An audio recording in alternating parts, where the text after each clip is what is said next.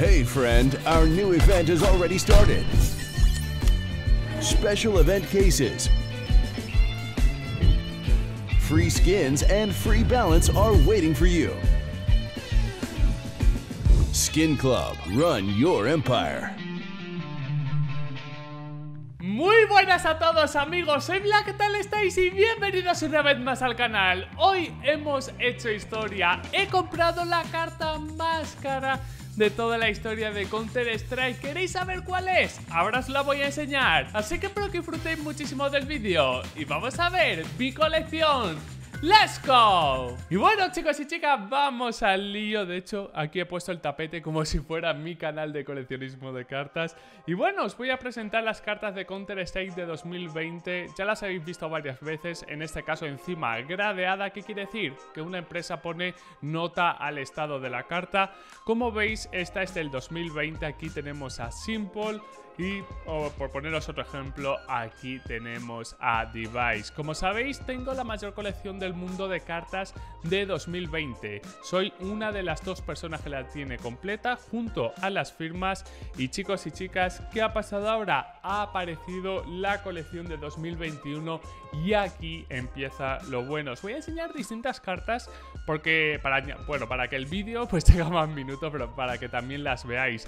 Aquí tenéis en este caso la de Simple Goat creo que está un valor entre 30 y 50 euros diría yo porque es una carta que tiene eh, numeración hasta la 500 a mí me ha tocado la 312 pero esta carta me ha gustado mucho la verdad está muy muy bonita y aquí vais a ver una de mis compras si recuerdo pondré el precio justo debajo que es esta eh, carta de simple leyenda A1. ¿Qué quiere decir? De leyenda, si no me equivoco, hay mil o más cartas, pues esta ha sido la primera carta impresa. Por lo tanto, chicos y chicas, esta carta tiene mucho valor por ser la número uno.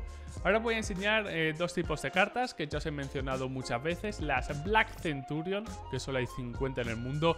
Esta carta, recuerdo que me salió por 375 euros, pero bastante barata porque fijaros la numeración A2. Esta carta, eh, yo creo que la tuve la suerte como que la cacé yo y nadie más la vio, porque esta carta se podría vender a más de 600 euros sin lugar a dudas.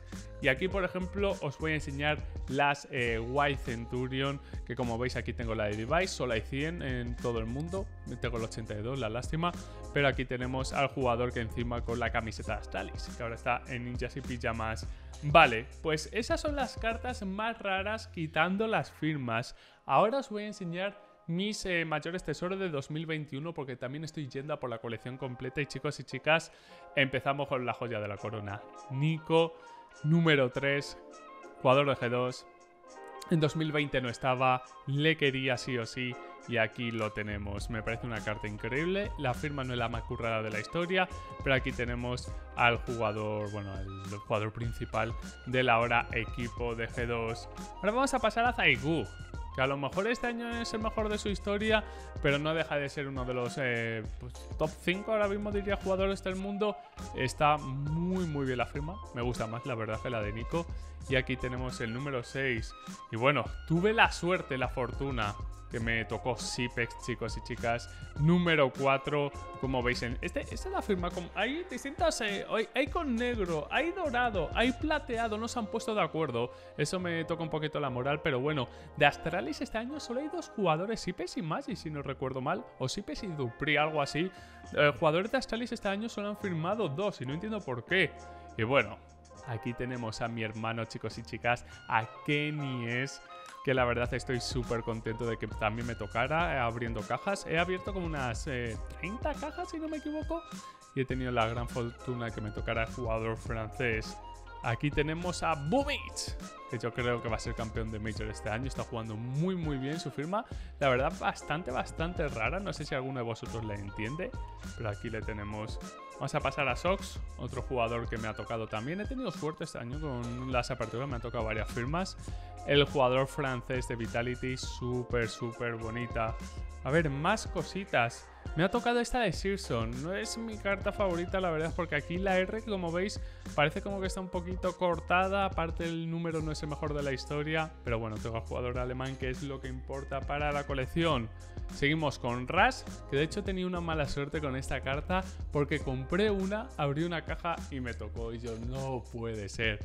La tengo duplicada, la otra la traeré supongo con alguna otra firma porque este año chicos y chicas, atención, hay 44 firmas, el año pasado había 28, o sea, este año se han pasado, pero eso no implica que no podamos conseguirla porque como digo estoy yendo a fuego a por todas. El problema, esta JKS, eh, por ejemplo, de Tari, solo hay cuatro firmas en existencia porque las otras o se han roto o se han perdido.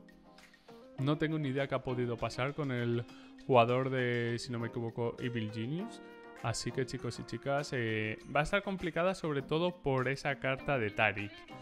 Y bueno, aquí tenemos a Elite, jugador que también me ha tocado. Fue la primera firma, de hecho, que me tocó. Y por último, el eh, francés Misuta. Vale, chicos y chicas, pues ahora viene la parte de la compra, la parte interesante. Y os voy a presentar lo que es una carta Jumbo. Que es esto que tengo aquí. No es esta carta, ¿eh? ¿Veis el tamaño? O sea, es, es una locura. ¿Qué es una carta Jumbo? Es una carta que ha hecho la empresa de coleccionismo a tamaño, como veis, desorbitado.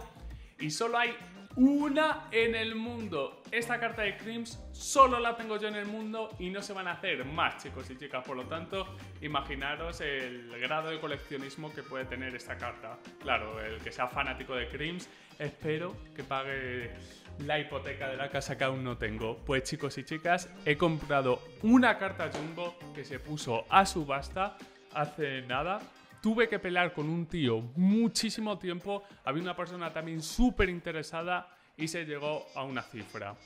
2.400 dólares. Es una barbaridad, la verdad. Eh, de hecho, la gané el día de mi cumpleaños, el 25 de agosto. Y os presento, chicos y chicas, porque me la ha encuadrado y todo el tío a la Jumbo de Kenny, chicos y chicas, con su firma evidentemente a mano. Pues aquí la tenéis, 2400 machacantes me ha tocado esta carta. Eh, la voy a dejar porque pesa la verdad. Eh, ¿Qué puedo deciros? Eh, es única en el mundo. Como sabéis, ese es mi jugador. Casi la cago. no se imagináis. Ha caído bien, ha caído bien. Eh, como sabéis, chicos y chicas, Geni es mi jugador favorito de toda mi vida. Es un jugador al que le tengo muchísimo aprecio. Y no sabía que esta carta existía porque hay jumbos que no se saben si han salido, si han existido. O sea, la de Simple, por ejemplo, la tiene mayor coleccionismo, eh, coleccionista disculpa, de cartas digitales. Ese tío no la va a soltar ni de coña, ni por 10.000 euros, ya lo digo. Pues esta ha sido la venta más alta en el mundo de coleccionismo de CSGO, chicos y chicas. Y quería compartirla con vosotros para ver qué os parece. Me podéis decir, mientras sea con respeto, os parezca mejor o peor. Pero como digo, quiero tener la mayor colección de la historia de Counter-Strike y espero conseguirlo. Así que nada, chicos y chicas, con esto me despido por el vídeo del día de hoy. Espero de corazón que os haya gustado. Si ha sido así, reventad el botón de like, no olvidéis suscribiros. Y nos vemos mañana con mucho más. Un saludo y hasta la próxima. Chao, chao.